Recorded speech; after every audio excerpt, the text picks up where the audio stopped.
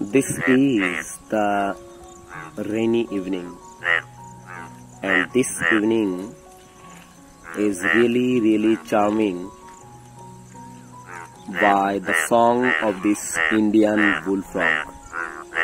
And this colorful giant one, this colorful champion one, is the Indian bullfrog.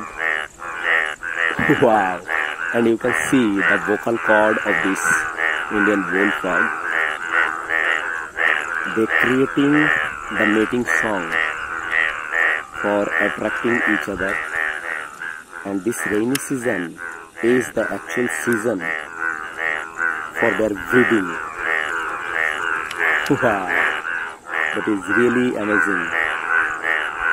I hope you enjoy a lot. Thank you for watching.